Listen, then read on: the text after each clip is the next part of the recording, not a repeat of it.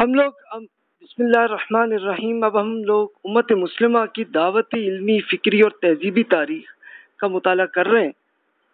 اور شروع کے لیکچرز میں تو ہم نے یہ ڈسکشن کی تھی کہ کیسے ایک ہسٹوریکل میتھڈ کیا ہے کہ کس طرح سے ہم یہ ریسرچ کرتے ہیں۔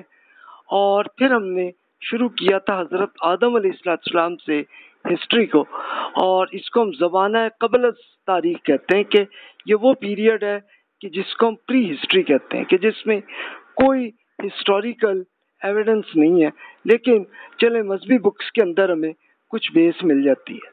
تو وہیں سے ہم بات کرتے ہیں۔ تو وہ کرتے کرتے ابھی ہم وہی کنٹینیو کر رہے ہیں۔ کہ آپ کو یاد ہوگا کہ پچھلے لیکچرز میں ہم نے دیکھا تھا کہ جب حضرت آدم علیہ السلام سے یہ پہلا دور ہے، جو آدم سے نور علیہ السلام کا، جس کو ہم کہہ لیں کہ زیرو پتہ نہیں کب سے شروع ہوا اور تب سے لے کے سیونٹی فائیو تھاؤزینڈ ایئرس گزر گئے کہ جب نور علیہ السلام آئے تھے۔ تو اس کی ہسٹری ہم کر رہے تھے بات، اب ہم اسی کو ہی کنٹینیو کرتے ہیں۔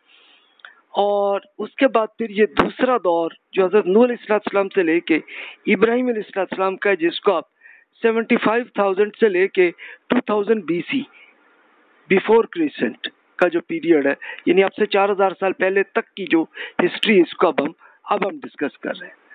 تو اس میں آپ کو یاد ہوگا کہ پہلے ہم نے یہ ڈسکشن کی تھی کہ کیسے آدم علیہ السلام آئے تھے اور حوا رضی اللہ تعالیٰ اب ہمیں یہ قرآن مجید میں ہی ملتا ہے اور بائبل میں بھی اس کی کچھ ڈیٹیل ملتی ہے۔ تو یہ آپ پڑھ چکے تھے۔ اچھا پڑھتے پڑھتے ہماری بات یہاں پہ ختم ہوئی تھی کہ یہ جو ملحدین ہیں، کہ جو اللہ تعالیٰ کو نہیں مانتے، تو ان کے جو پوائنٹ آف ویو وہ یہ سمجھتے ہیں کہ جناب، نہیں جناب، انسان ایک جانور تھا اور وہیں سے پھر یہ بندر پیدا ہوئے، بندروں کے اندر پھر اسی کی نسل میں انسان پیدا ہوا یہ ان کا خیال ہے۔ تو اب میں نے پھر یہ کیا کہ ہسٹوریکلی جرمن اسکالرز نے جو اس کو یہ نیندر ویلی کہتے ہیں نیندر ویلی، یہ جرمن کا ایریا ہے، تو یہ اس میں اب سے سوا لاکھ سال پرانے جو آثار ملے ہیں۔ اب ظاہر ہے کہ ہسٹری کا ایک یہ میتھڈ ہوتا ہے کہ جس میں کوئی ہمیں ایسی چیزیں مل جائیں کہ جب ہم پرانی سے پرانی چیزوں کو اس کو کیمیکلز میں چیک کرتے ہیں، تو پتہ چلتا ہے کہ جناب کہ اس طرح کا معاملہ ہوتا رہا ہے۔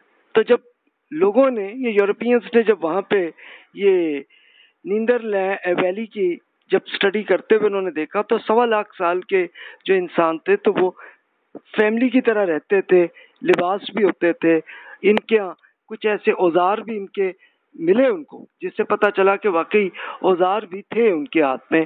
اور پھر یہ بیماروں کی تیمارداری بھی کرتے تھے اور مردوں کو دفن بھی کرتے تھے، تو اس سب سے پتہ چلتا ہے کہ انسان کوئی بندر کی ٹائپ کی چیز نہیں تھی، بلکہ ایک اب سے سوا لاکھ سال پہلے بھی جو انسان تھا، تو وہ بھی اس سے ایویڈنس ہی ہمیں بتاتا ہے کہ جناب اس وقت بھی انسان ایک بڑا شعور اور لاجک کے ساتھ سمجھنے والا تھا اور یہ سارے نیکی اور بدی کا ان کے اندر بھی کانسیپٹ تھا۔ یعنی اسی سے ہمیں ایک یہ ایویڈنس ملتا ہے۔ تب ہم اس سے آگے اب ہم بات شروع کرتے ہیں اگلی۔ اس کے بعد کیا ہوا؟ یہ اب خاص واقعہ ہوا اب سے اراؤنڈ سیونٹی تھاؤزینڈ یا سیونٹی فائیو تھاؤزینڈ اب کہہ لیں۔ ظاہر ہے کہ اس کے لیے کوئی کنفرم نہیں کہ کتنے سال ہیں، لیکن ایک اندازہ ہے کہ یہ حضرت نور علیہ السلام کا اور اس کی ڈیٹیل ہمیں قرآن مجید میں ملتی ہے۔ آپ سورہ نو کے اندر آپ پڑھ چکے ہیں، اس کے اگر آپ نے یہ علوم القرآن کے لیکچرز آپ نے سنے ہو تو اس نے آپ نے سن لیے ہوں گے۔ اگر نہیں سنے تو اب میں عرض کر دیتا ہوں اس میں۔ یہ اب ہوا ہے کہ یہ کوہ جودی، یہ قرآن مجید میں اس کا ذکر ہے، اور عام طور پہ اسے ارارات کہتے ہیں۔ بائبل میں بھی ارارات کہا گیا ہے۔ تو یہ پہاڑ، اس میں لوگوں کو پتا ہے، یہ کہاں پہ ہے کہ یہ ترکی اور اس کے ساتھ ساتھ ایران کے بارڈر پر یہ پہاڑ ہے۔ اور اس میں سے پھر جب اب سے کافی عرصہ پہلے، ساٹھ ستر سال پہلے یہ کیونکہ اس وقت کی حکومت یہ رشیا کی یہاں تک تھی، تو ان کے لوگوں نے یہاں کے ریسرچ کی، تو یہ دیکھا، تو یہ اب دیکھیں پکچر یہ نظر آتی ہے کہ جناب یہ محسوس ہوتا ہے کہ یہ ایک سمندری جہاز کے فوسلز ہیں۔ اب یہ فوسلز کہ جب انہوں نے کیمیکلی چیک کیا تو seventy to seventy five thousand کے زمانے کی بات تھی۔ تو یہ اچھا قرآن مجید کو آپ پڑھیں تو ہمیں پتہ چلتا ہے کہ کوئی جودی تھی کہ جب نو علیہ السلام کی قوم پر جب یہ میسج اللہ تعالیٰ کا انہوں نے پہنچایا، لوگوں نے نہیں مان لائے تو ان کو پھر ایک سیلاب کی شکل میں ان کو مار دیا۔ لیکن حضرت نور علیہ السلام اور ان کی امت جو ایمان لائے تھے تو ان سب کو ایک سمندری جہاز میں رکھا تھا اور وہاں آتے آتے وہ اس جودی پہاڑ پہ جا کے وہ جہاز وہاں جا کے رک گیا تھا۔ اور پھر ان کو اجازت دی گئی کہ آپ لوگ اتریں۔ اترے جب تو تب ان کو یہ ایک پورا ایگریکلچرل ایریا ملا اور ان کو ایک جگہ ملی۔ اور پھر ہمیں بائبل میں ہسٹری میں ملتا ہے کہ ان کے بہت سارے لوگ جو ہے وہ پیدا ہونے لگے۔ جب آپ دیکھیے کہ یہ کشتی اور سمندری جہاز جب آیا تو اب بائبل سے ہمیں پتہ چلتا ہے کہ حضرت نو علیہ السلام کے تین بیٹوں کی بیسس پہ ہی انسانیت زیادہ زیادہ تر انسان انہی کی اولاد ہے۔ اب اس میں بڑے بھائی تھے ان میں حام رحمت اللہ علیہ، جو حضرت نور علیہ السلام کے بیٹے تھے، ایمان لائے تھے۔ تو یہ ان کو افریقہ کے ایریے میں جا کے سیٹل ہوئے۔ اچھا دوسرے بھائی سام تھے۔ تو سام جو ہے وہ عراق، دجلہ اور فرات۔ کی جو وادی تھی، وہاں جا کے سیٹل ہوئے۔ اور تیسرے بیٹے یافس رحمت اللہ علیہ تھے، تو ان کی نسل آرمینیا۔ اور بحیرہ کیسپین کیسپین سی، یہ ایک بہت بڑی جھیل ہے۔ تو اس کے آس پاس، اور پھر یہ بحیرہ ہے اسود آپ کہتے ہیں، یا بلیک سی کہتے ہیں۔ اور وہیں سے پھر یہ دریا چلتا ہے دریائے وولگا۔ یہ وولگا پورا رشیا کے ایریے میں بہت دور سے چلتا ہوا آ رہا ہوتا ہے۔ تو یہاں آ کے وہ سیٹل ہوئے۔ اب یہ سیٹل کیوں ہوئے؟ یہ اب سوال ہے۔ تو اس میں پہلے تھوڑی سی میں عرض کر دوں کہ انہیں کی پھر جو نسلوں میں کیا کیا مشہور آئے ہیں، تو یہ بائبل میں پہلی بک کے اندر ہی ان کے ڈیٹیل آتے ہیں کہ جناب ان کے جو مشہور آدمی ہیں، جو بادشاہ لیول کے لوگ ہوئے ہوں گے انہیں کے نام ہی وہاں پہ آئے ہیں۔ تو اس میں جیسے حام کی نسل میں یہ زیادہ تر ایجپٹ میں انہوں نے، ظاہر ہے کہ ایک پورا دریائے نیل تھا، تو وہاں پہ جا کے ایک ایگریکلچر ایریا میں رہے۔ اور حام کے بیٹے جو ہیں، ان کا نام تھا کنعان۔ اور یہ کنعان جو ہے، یہ فلسطین کا پرانا نام بنا۔ یعنی ہوتا یہی تھا کہ جو مشہور کوئی شخصیت ہوئی ہے، عموماً وہ بادشاہ ہوتے تھے یا اور کوئی بڑے اسکالر ہوں، تو ان کے نام پہ ہی شہر کا یا ملک کا نام بن جاتا تھا۔ تو کنعان حام کے بیٹے تھے تو ان کے نام پہ ہی یہ کنعان ملک بنا جو آج کل فلسطین کے نام سے مشہور ہے۔ اور یہ کوئی چھوٹا نہیں ہے، بلکہ اس میں آج کل اسرائیل ہے، جارڈن، سیریا، لبنان، یہ ساروں کو آپ ایڈ کر لیں تو یہ کنعان کے پورا ایریا بنتا ہے۔ یعنی اب یہ چار ملک بنے ہوئے۔ اچھا جو سام دوسری نسل کے جو تھے، ان میں سے عراق میں خاص طور پہ اب یہ دیکھیے کہ دجلہ اور فرات کے دریا آج بھی آ رہے ہیں۔ عراق کے اندر۔ تو یہاں پہ سیٹل ہوئے اور سام کے بیٹے جیسے عراق ان کا نام تھا۔ تو وہیں سے اب یہ دیکھیے ہمیں اندازہ لگتا ہے کہ یہ عراق سے ہی عراق بنا، اس ملک کا نام۔ اسی طرح ایک اور بیٹے تھے سام کے آرام، تو ان سے یہ قوم عاد پیدا ہوئی اس کے اندر۔ یہ آ کے سعودی عرب کے، بلکہ آج کل آپ یہ کہیں کہ اسپیشلی آ کے یہ عمان اور یمن کے ایریے میں جا کے سیٹل ہوئے۔ تو اب یہ سوال آپ کے ذہن میں ہوگا کہ بھائی یہ سیٹل مختلف کیوں آتے رہے؟ تو اس میں میں یہ عرض کر دوں، اصل معاملہ کیا تھا کہ آبادی بہت تیزی سے آ رہی تھی، کیونکہ ابھی آدم علیہ السلاۃ السلام سے انسان اتنے زیادہ نہیں تھے، لیکن نور علیہ السلاۃ السلام کے زمانے سے پھر بہت تیزی سے نسل پیدا ہوئی۔ اب قرآن پاک میں ہمیں پتہ چلتا ہے کہ نور علیہ السلام السلام نے جو اپنی دعوت پہنچائی ہے تو نائن ہنڈریڈ ففٹی ایئرس تک۔ یعنی اس زمانے میں انسان کی عمر لمبی ہوتی تھی تو نائن ہنڈریڈ ففٹی ایئرس تک وہ دعوت پہنچاتے رہے۔ تو اس سے آپ ایڈ کر لیں، چلو وہ بچے بھی ہوں گے، پھر اس کے بعد جب یہ سیلاب ہو گیا، اس کے بعد بھی کچھ عرصہ رہے ہوں گے، تو اس میں بائبل میں یہ کہا جاتا ہے کہ اراؤنڈ تیرہ سو سال ان کی ایج رہی ہے۔ تو ٹھیک ہے۔ تو وہیں سے آپ یہ دیکھیے کہ اب اگر اس میں ہوں۔ لیٹ سپوز کہ اگر ایک بچہ جو ہے، وہ آپ ریزیوم کر لیں، اگر عمر اتنی لمبی ہوتی تھی لیٹ سپوز کہ ایک سو سال کی عمر میں جناب وہ جوان ہوا۔ تو پھر بچے پیدا ہوں گے۔ اور وہاں سے لے کے اب جب تک وہ ہزار بارہ سو سال تک وہ رہیں گے وہ صاحب، تو ان کے بچے پیدا ہوتے جائیں گے تو کتنی بڑی آباد، آبادی ہوگی، بن جائے گی کچھ عرصے میں۔ تو یہی ہوا تھا، تو اس لیے روایات میں آتا ہے کہ نور علیہ السلام نے اپنے بیٹوں کو کہا تھا کہ بھائی جب اب تمہاری آبادی زیادہ آ جائے گی تو ادھر ادھر سیٹل ہو جانا۔ تو حام کی جو نسل ہے وہ افریقہ میں کہ ایجپٹ میں آ کے اور وہاں سے لے کے پھر وہ پوری ان کی جو پیدا ہوتے گئے تو یہ پورا پورا افریقہ بن گیا۔ اس لیے دیکھیں ان کی ایک خاص طور پر ان کی جو شکل یا ان کی اب اسکن کی کلرز کو دیکھ لیں تو وہ بلیک کلر کے ہوتے ہیں تو وہ زیادہ تر یہ حام رحمۃ اللہ علیہ کی نسل ہے۔ شام تھے تو وہ عراق میں آ کے سیٹل ہوئے تھے۔ اب عراق میں بھی دیکھیے کہ دریا تھا۔ تو جہاں جہاں عموماً لوگوں نے جب وہ امیگریشن کرتے رہے تو وہ دریا کے ساتھ گئے۔ تو اب یہ عراق کے ساتھ ساتھ یہ دجلہ اور فرات تھا تو ایک زرخیز ایریا تھا۔ ایگریکلچر کرتے رہے سیٹل ہوتے رہے وہ۔ سیٹل ہوتے ہوتے پھر وہیں سے لوگ ظاہر کی آبادی زیادہ آئی تو وہ پھر سیٹل ہونے کے لیے عرب علاقوں میں امان یمن، اس میں جا کے سیٹل ہونے لگے۔ اب یافس جو تیسرے بیٹے تھے رحمۃ اللہ علیہ، تو ان کے اندر یہ آرمینیا کا ملک ہے۔ اور یہاں پہ آپ یہ کہ اسپین اور اس کے ساتھ یہ بلیک سی ہے، تو اس میں اب یہ میرا اندازہ ہے۔ ظاہر ہے کہ یہ میرا ہی اندازہ ہے۔ اس میں کوئی ایویڈنس تو نہیں ہے کہ جو حضرت نور علیہ السلام کے زمانے میں جو سیلاب آیا تھا، تو وہ اتنا زیادہ تھا کہ اس نے بہت بڑے علاقہ جو ہے وہ اس میں ہوا تھا۔ تو اب کہتے ہیں اسکالرس کہ یہ جناب پوری یہ زمین تھی کہ جس میں یہ بلیک سی اور کیسپین یہ دونوں سمندر اس میں بن گئے۔ یعنی ہے تو وہ ایک طرح کی جھیل ہے، لیکن جھیل اتنی بڑی ہے کہ سمندر جتنی بڑی۔ کہ جس میں آپ کو کئی دن کا سفر کریں تو تب جا کے آپ اس کو کراس کر کے آتے ہیں اتنا بڑا اور یہ دریائے بولگا یہ پورے رشیا سے چلتا ہوا آتا ہے اور بلیک سی میں آ کے وہ ختم ہوتا ہے۔ کچھ بلیک سی میں کچھ حصہ اور کچھ کیسپین میں آ کے وہ گر جاتا ہے۔ تو یہیں پہ ان کے آگے بزرگوں میں جو مشہور ہوئے ان کے نام ہیں یاوان۔ تو یاوان صاحب جو تھے، انہی کے پوتے پڑ پوتے ہوں گے۔ تو ان سے ہی ہمیں اندازہ ہے کہ یہ جاپان وہیں سے نکلا ہے لفظ۔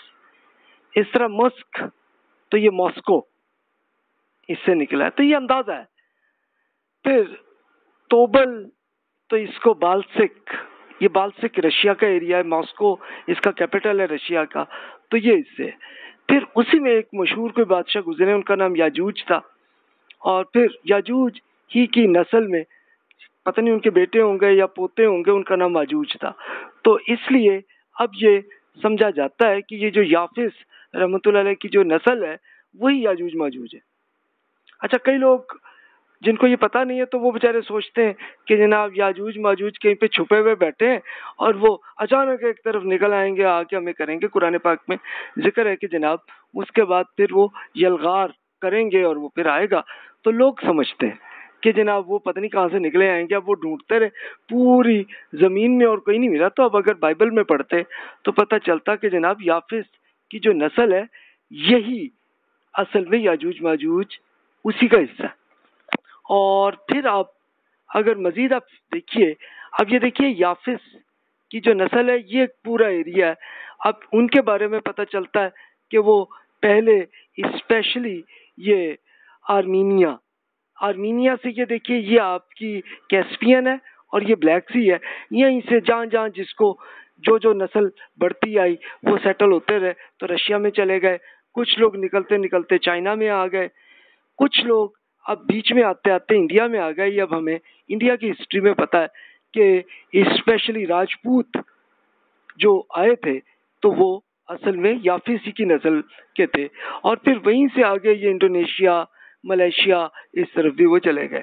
تو یہ دیکھیے پھر چائنا سے آگے جاپان اور کوریا، ان سب میں وہی لوگ سیٹل ہوئے۔ لیکن پھر یہ بھی پتہ چلتا ہے کہ یافیسی کی نسل ہے کہ جو آگے سیٹل ہوتے ہوتے یورپ میں گئے۔ اور یورپ کی ہسٹری میں ہمیں خود پتا ہے، اب سے پانچ سو سال پہلے ہی وہ لوگ پھر آ کے امریکہ میں اور نارتھ امریکہ اور ساؤتھ امریکہ دونوں میں جا کے وہ سیٹل ہوئے۔ تو اس سے یہی اب پتہ چلتا ہے کہ جو قرآن مجید میں یہ بتایا گیا کہ بھی یہ یاجوج ماجوج نکل آئیں گے اور وہ ہر طرف آ جائیں گے، تو وہ اب تک ہو چکا ہے کیونکہ اس وقت وہی سپر پاورز ہیں، اس وقت دنیا کے امریکنس یورپینس اور چائنیز اور رشیا بھی ایک زمانے میں اب سے پچھلی صدی میں وہ بھی سپر پاور رہی ہے، تو یہ سب یاجوج ماجوج ہی کی نسل ہے۔ اچھا جو سام تھے، جو عراق سے آئے، تو دیکھیے یہ پورے عرب ایریا میں، جس میں آج کل کا سعودی عرب ہے، یمن ہے عمان ہے، تو ان سارے میں وہ سارے سیٹل ہوئے ہیں، قطر میں اور اس سب میں۔ اور حام جو ہے، وہ ایجپٹ میں آئے ہیں۔ ایجپٹ سے لے کے یہ پورے افریقہ میں جا کے سیٹل ہوئے ہیں۔ تو یہ تو سیٹلمنٹ ہے۔ تو اب اب آپ کے وہی جو کوشچن تھا کہ جناب یہ اس کی ریزن کیا تھی؟ کیوں سیٹل ہوتے رہے؟ ایک تو میں نے بتا دیا کہ جناب آبادی زیادہ آئی تو اس لیے چلے گئے۔ کہ ایگریکلچر کا مسئلہ تھا نا، تو وہ اس میں ظاہر ہے کہ وہ خوراک نہیں ملتی ہوگی۔ اور یہ دیکھیے کہ وہی ڈیٹیل ہے کہ جو آرمینیا سے رشیا، چائنا، یورپ یورپ سے امریکہ، آسٹریلیا میں چلے گئے۔ پھر آپ یہ دیکھیے کہ یہ پیسفک اور اٹلانٹک یہ دونوں بڑے، بہت بڑے سمندر ہیں دونوں۔ تو ان کے یہ جو جزائر ہیں، جیسے انڈونیشیا، ملیشیا، یہ پیسفک کا حصہ ہے اسی طرح آپ کا یہ جو اٹلانٹک ہے تو اٹلانٹک کے اندر، جزیرے کے اندر بہت پرانی آبادیاں موجود ہیں۔ تو لگتا یہی ہے کہ یہ حضرت نول اسلام السلام کی، یہ جو یافس صاحب کی جتنی نسل تھی تو اس میں سے نکل آتے رہے۔ اچھا پھر ایران اور انڈیا میں تو اب سے تین ہزار بی سی یعنی آج سے پانچ ہزار سال پہلے وہ آ کے ایران اور انڈیا میں سیٹل ہوئے۔ اور پھر اب سے صرف پانچ سو سال پہلے ففٹین ہنڈریڈ سی ای میں، یورپ سے امریکہ، آسٹریلیا میں آگے، ہمیں پتا ہے۔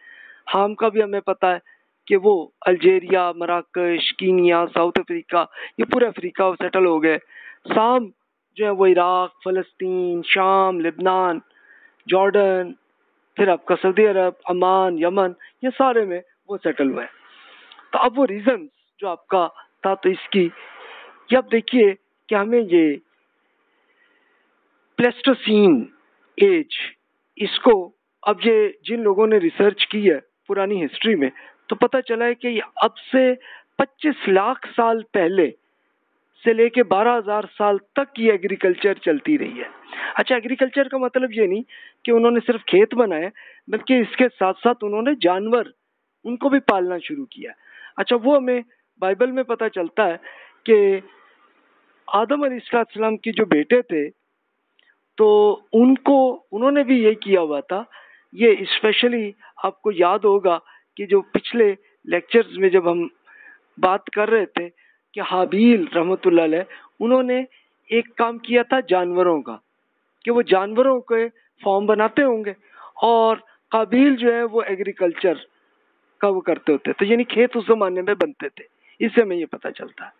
تو ظاہر ہے کہ اس کا مطلب آدم علیہ السلام سے یہ سلسلہ چلا آ رہا ہے اور پچیس لاکھ کہہ لیں سال جو گزر گئے اب تک، تو پتہ نہیں آدم علیہ السلام بیچ میں کب آئے؟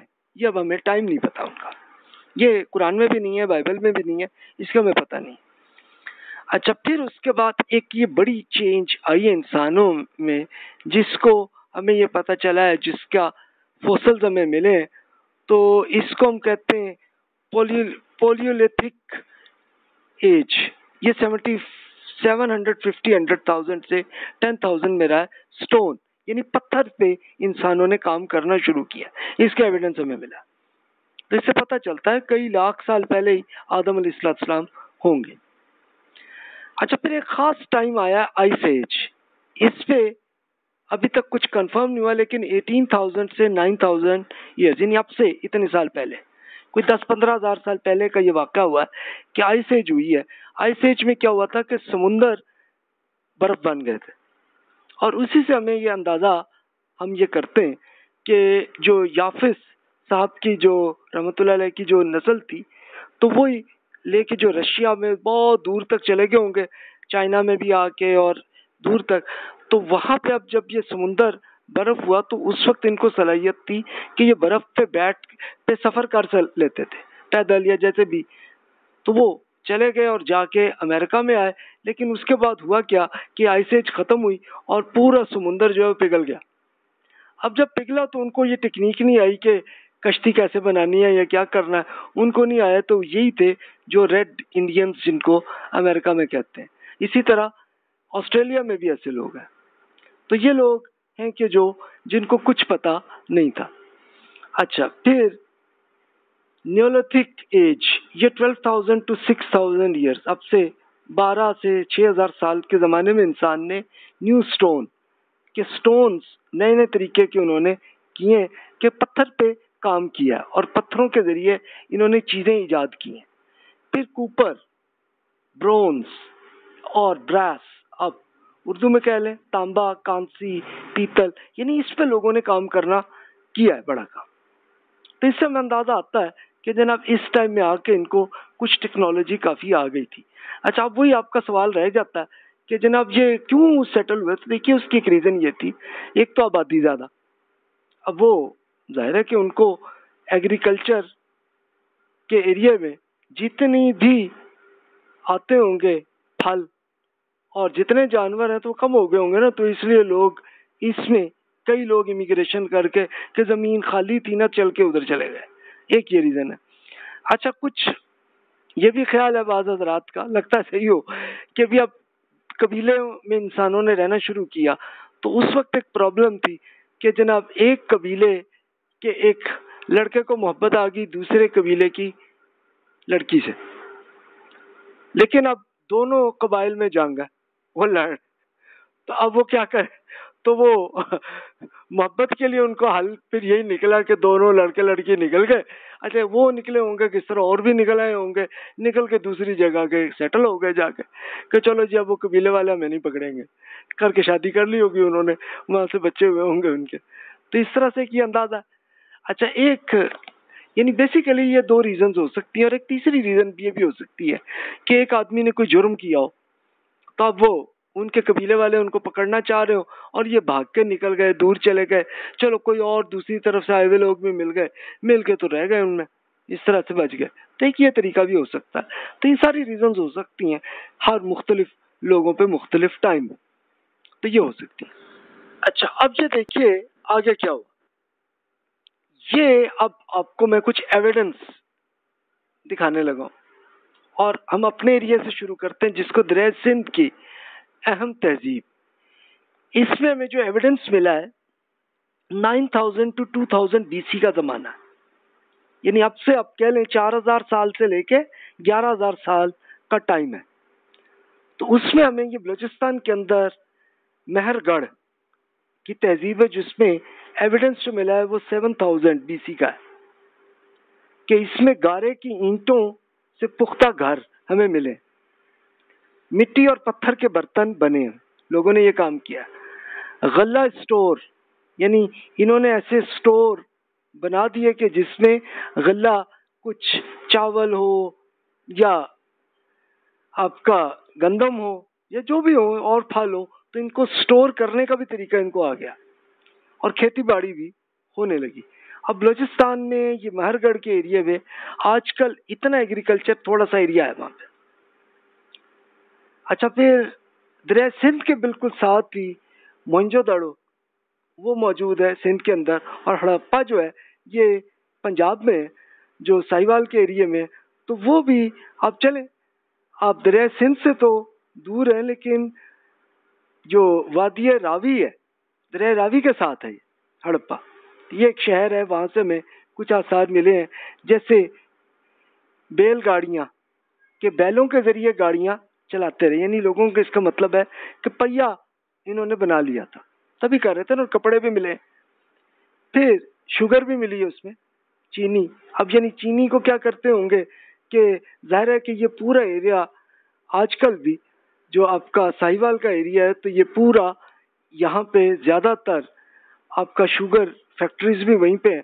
تو ظاہر ہے کہ گنا وہیں پہ بنتا ہے تو اس سے وہ، ان کو ٹیکنیک آ گئی تھی کہ اس سے ہم چینی بنا لیں۔ اور پھر چیس، شطرنج بھی وہ کھیلتے تھے۔ تو یہ بھی ایویڈنس ملا۔ جس کا مطلب ہے انسان بڑے شعور میں آ چکا تھا۔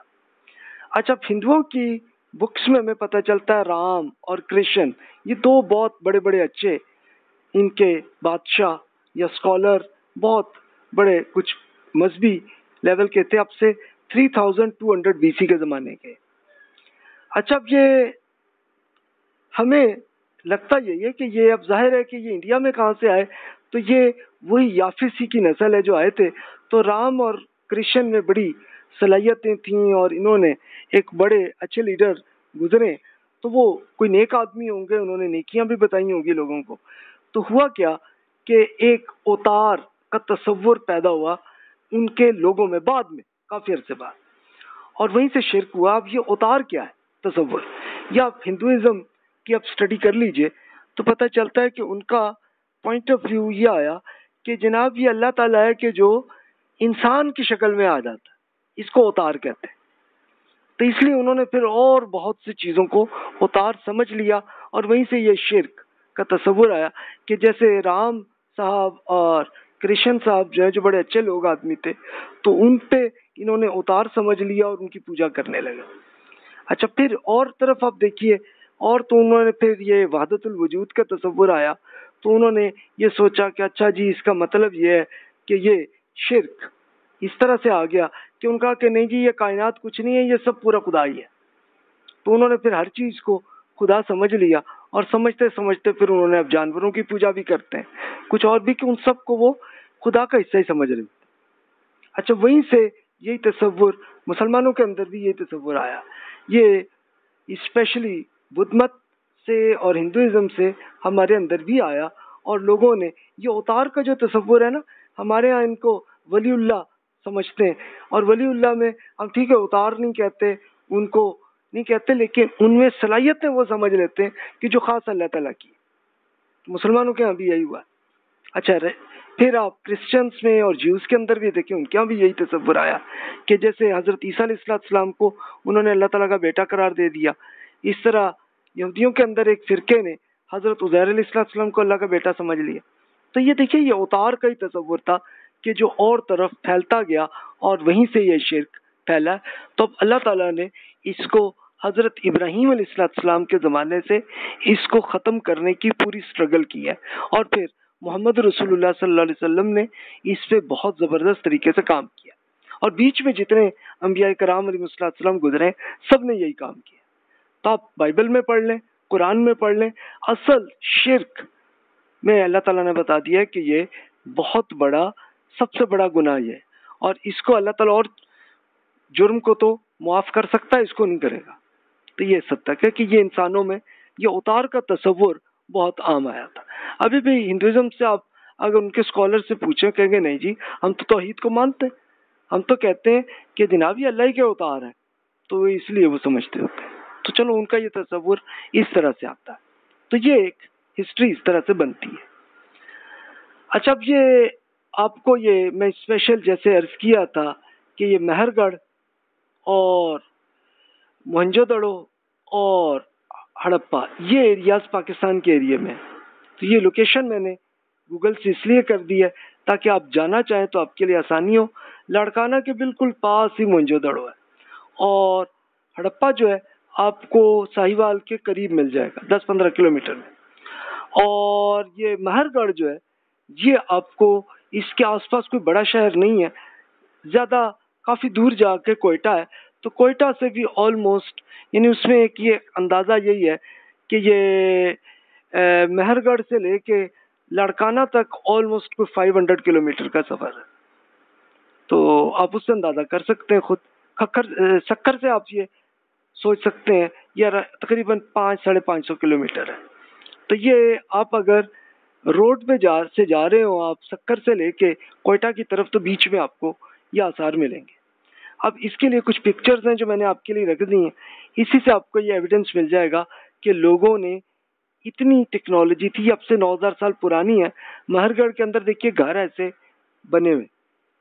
یعنی اس زمانے میں بھی اس کے مطلب اینٹیں انہوں نے بنا لی تھی، یا پتھر سے ہی انہوں نے اپنے گھر بنا لیے۔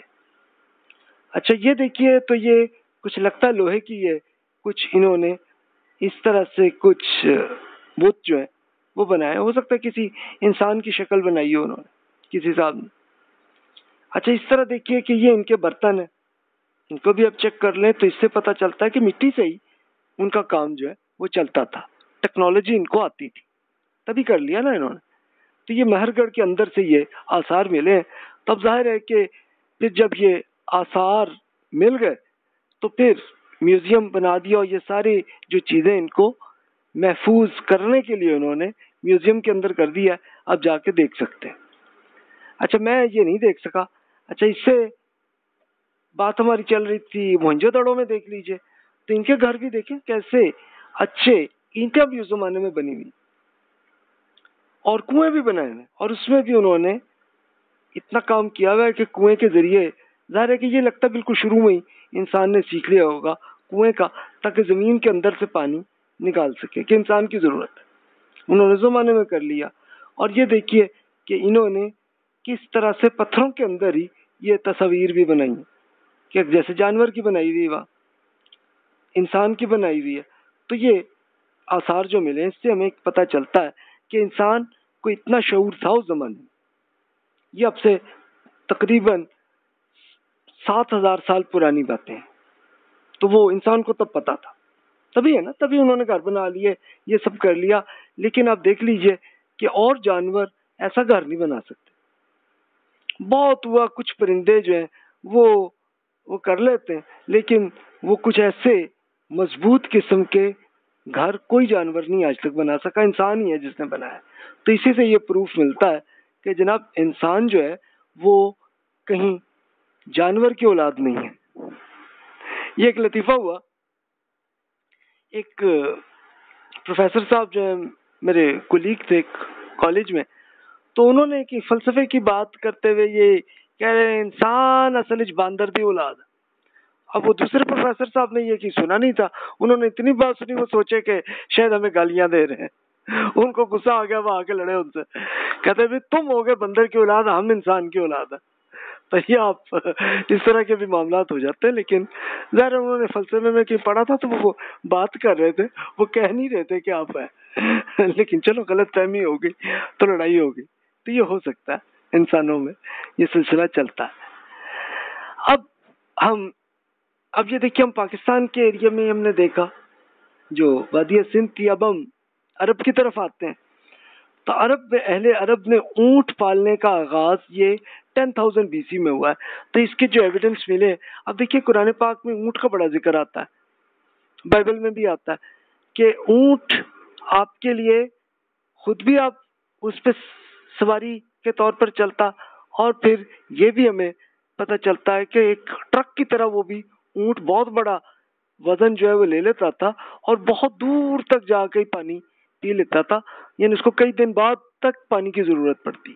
تو اس لیے اربوں نے اونٹ پہ زیادہ فوکس کیا اور اربوں کی اب جو ہسٹری لکھی ہوئی ہے، تو اس میں ہمیں یہ پتا چلتا ہے عرب بائدہ یعنی یہ تھے کہ جو پرانے زمانے میں آئے تھے۔ پھر اس کے بعد کئی اور قومیں آ کے سیٹل ہوئی ہیں۔ ہاتھ سمود، تسم، جدیس اور عمالقہ، یہ مختلف قبائل تھے۔ ایک، آپ کہہ لیں کہ ایک، کئی قبیلے آ کے ادھر سیٹل ہوئے۔ ٹھیک ہے جی بالکل۔ اب قرآن پاک میں آد اور سمود کا ذکر آتا ہے۔ آد قوم جو ہے، یہ حضرت حود علیہ السلام، اس کے رسول، انہی، اسی قوم میں تھے۔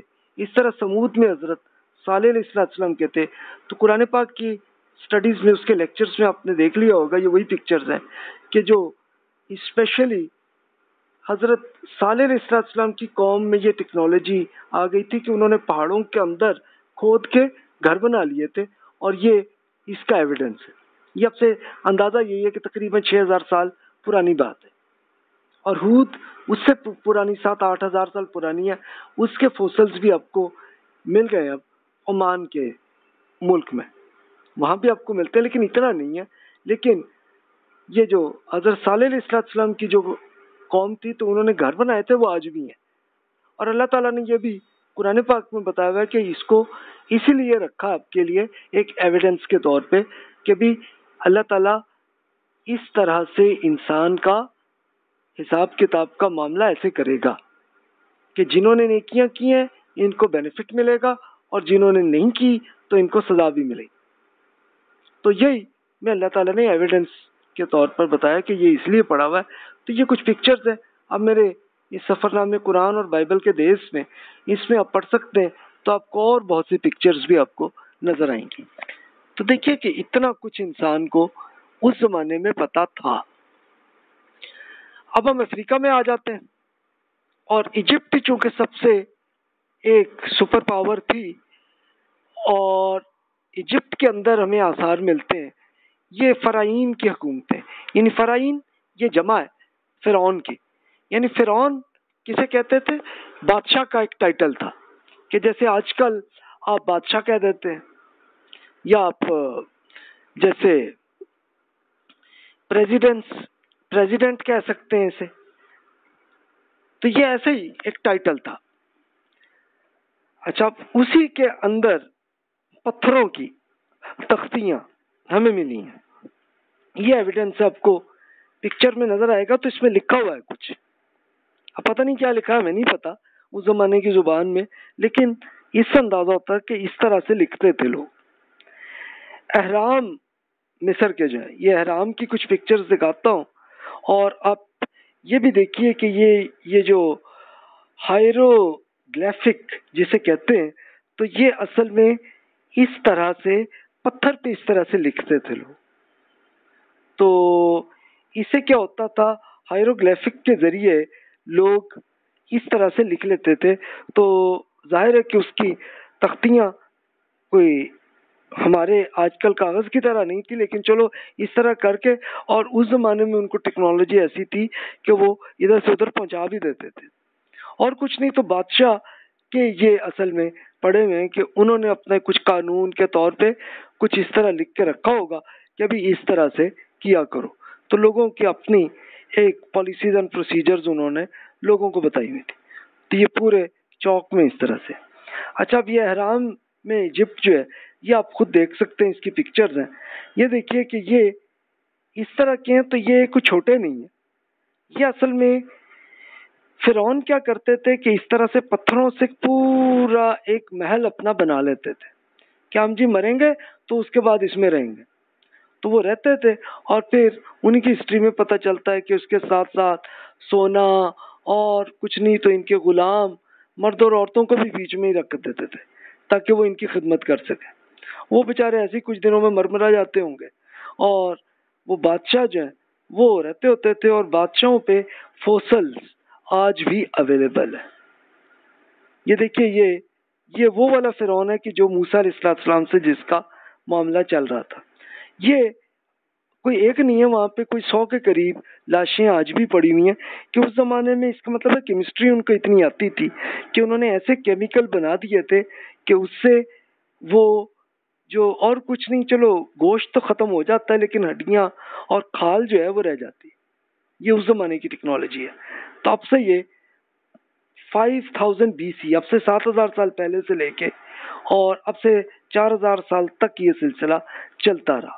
بلکہ اس کے بعد بھی چلتا رہا۔ اور تب پھر حضرت موسیٰ علیہ السلام ٹویلو ہنڈریڈ بی سی میں آئے۔ تو تب جا کے وہ فرعون کو اللہ تعالیٰ نے غرق کر دیا۔ تو اس کے بعد پھر فرعین ختم ہو گئے۔ اچھا یہ دیکھیے کہ ایک اور ایریا ایجپٹ کا، تو اس میں یہ وہاں کے جو احرام ملے تو اس کو آپ اس طرح دیکھ سکتے ہیں، اندر سے پورا محل ہے۔ اور ان کو پتھر پہ اتنی ٹیکنالوجی تھی کہ جس طرح سے انہوں نے بادشاہ کی ایک پوری تصویر بھی بنائی ہوئی۔ اچھا اسی طرح یہ بھی دیکھیے، تو یہ کھال پہ بھی کر لیتے تھے کام۔ تو یہ ٹیکنالوجیز یہ ہمیں ملے۔ یہ فوسلس ہمیں بتا سکتے ہیں۔ اب چائنا میں آ جائیں تو چائنا کے اندر بھی کچھ سویلائزیشنس گزری ہیں، لیکن ڈیٹیل کا ہمیں پتہ نہیں ہے۔ تو اب جیسے سیون تھاؤزینڈ بی سی میں یہ جاہو سویلائزیشن یا جاہو کہہ لیں سے پھر یہ اب ظاہر ہے کہ میری الفاظ ہو سکتا ہے کہ میں غلط بول رہا ہوں، تو چائنیز جو ہے وہ ذرا صحیح طرح بولتے ہوں گے۔ ینگ شاؤ لونگ شان۔ اب یہ تہذیبیں رہی ہیں، گزری ہیں۔ اس کا مطلب ہے کہ وہ بھی ہوگا اور اس میں ہمیں جو آثار ملے ہیں، اس میں یہ زراعت کی ایگریکلچر ہوتی رہی ہے، مٹی اور پتھر کے برتن ملے ہیں اور پکے گھر بھی۔ تو یہ دیکھیے کہ بالکل ایسے ہی کہ جیسے آپ کو منجو میں اور مہر گڑھ میں آپ کو جیسے ملے ہیں، تو اس طرح کے چائنا میں بھی ملے ہیں۔ تو اس کا مطلب ہے کہ انسان کو اتنی ٹیکنالوجی آ گئی تھی۔ تو اور ملکوں میں بھی آ جاتے تھے۔ طریقے ظاہر ہے کہ ایک سے دوسرے میں جاتے ہوتے تھے، سیکھتے تھے طریقے اور کر لیتے تھے۔ یورپ میں دیکھیے تو یہ فوسلس کچھ ایسے ملے ہیں، اس کو ایک ونسا سویلائزیشن کہتے ہیں، جو کہ فائیو تھاؤزینڈ ایئرس پہلے کی ہے۔ اچھا اور یہ اور پرانے بھی فورٹی فائیو تھاؤزینڈ سے تھرٹی فائیو تھاؤزینڈ میں بھی جو آثار ملے ہیں جس سے پتہ چلا انسان تب بھی تھے یورپ میں۔ تو اس سے پتہ چلتا ہے کہ یہ جو یافس رحمۃ اللہ علیہ کی جو اولاد تھی تو وہ ادھر آ کے یورپ میں بھی سیٹل ہوئے اور یہ دیکھیے ان کے آثار یہ ہیں جس کی تصاویر ہے کچھ زیورات، اوزار، یہ اوزار ہی ہیں جس کی پکچرز ہیں۔ کچھ تصاویر بھی پتھروں میں بنا لیتے تھے۔ تو دیکھیے کہ یہ اس سے ہمیں پتہ چلتا ہے کہ انسان کو اتنا پتا شعور تھا تب بھی۔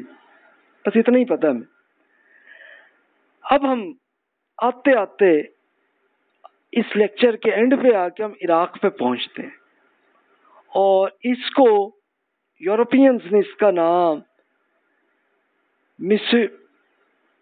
میسوپوٹیمیا میسوپوٹیمیا اس کو کہتے ہیں۔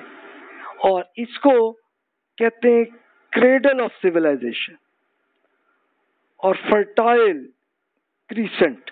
اب یہ فرٹائل فرٹائل کا مطلب بہت زرخیز ایریا اور کریسنٹ کا مطلب کہ یہ چاند جیسی شکل ہے اس کی۔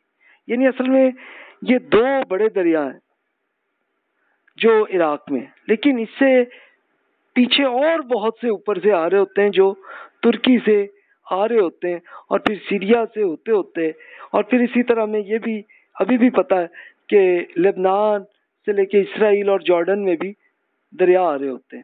تو یہ ایگریکلچرل ایریا اور اس کو یورپینس یہ کہتے ہیں کہ جتنی ہسٹری ہمیں پتا ہے یعنی فوسلس میں تو اب پتہ چل رہا ہے نا، اس سے پہلے جو بکس جس میں مل گئی ہیں، تو اس کو ہم کریڈل آف سویلائزیشن کہتے ہیں کہ جس میں لکھی ہوئی کتابیں ہمیں مل گئی ہیں۔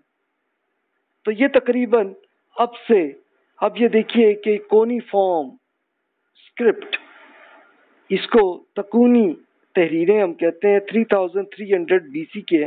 یہ دیکھیے اس کی پکچر ہے یہ۔ آپ کو نظر آئے گی کہ جس میں اس طرح سے لوگ لکھتے تھے۔ تو اس کا مطلب یہ ہے کہ یہیں سے اچھا وہ لکھی ہوئی کو کچھ اسکالرس نے پڑھ بھی لیا اور پڑھ کے پھر ان کو وہ آج کل انگلش میں آپ کو مل جاتا ہے۔ سمیری اقادی اشوری تہذیبیں وہاں پہ ہوئی ہیں اور پھر پہیا بھی ان کے ہاں بنا۔ اب کئی لوگ کہتے ہیں چائنا میں بنا ہے، کوئی کہتے ہیں یہاں، ظاہر ہے کوئی کنفرم نہیں ہے۔ یہ لگتا ہے کہ انسان نے ہو سکتا ہے کہ آدم علیہ السلام کے زمانے میں انسان کو پہیے کا طریقہ آ گیا ہو۔ تب لے جا کے وہ ہوتا یہ ہوگا کہ ظاہر ہے کہ گھوڑے میں بہت زیادہ سامان نہیں نہ آتا۔ تو اس لیے انہوں نے پہیے بنائے تاکہ وہاں پہ سامان رکھیں۔ اور جیسے ہم نے یہ دیکھا کہ بہت عرصہ پہلے ہی ہمارے یہ مہر گڑھ کے اندر اور منجو کے اندر بھی ہمیں ملے کہ جنہوں نے ایک طرح کے یہ جو بیل ہے وہ اس طرح سے چلاتے ہوتے تھے گاڑیوں کو، کہ جس میں سامان لے کے جاتے تھے۔ تو لگتا ہے کہ ٹھیک ہے، یہ بات۔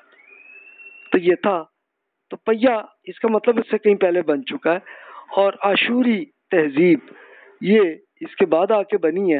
اور آشوری تہذیب وہ تھی، یہ جس میں آتے آتے، اب یہ دیکھیے، یہ پورا عراق، سیریا، ترکی کا حصہ، ایران کا بڑا حصہ، یہ سارا ملے۔ تو یہ بہت ایگریکلچرل ایریا اب جناب، یہ وہ ٹائم تھا کہ جب ابراہیم علیہ السلام آئے اور تب جا کے یہ دیکھیے کہ جو میرا دوسرا دور تھا، وہ ختم ہوا اور یہ اشوری تہذیب ہی تھی کہ جس میں ابراہیم علیہ السلام آئے اور اس کو میں نے ابراہیم ملینیم کا نام دیا۔ یہ two thousand to one thousand B C ہے۔ انشاءاللہ اگلے لیکچر میں اسے کور کرتے ہیں۔ تو جناب، جزاک اللہ خیر۔ وہ حسن الجزا آپ کے ذہن میں جو جو کوشچنز ہیں، آپ بلا تکلف آپ ای میل کر سکتے ہیں۔ اس سب کی اسٹڈی انشاءاللہ تیسری تہذیب کو اگلے لیکچر میں ہم کرتے ہیں۔ ابھی جو سوال ہے، آپ ای میل کر دیجیے جزاک اللہ خیر و حسن الجزا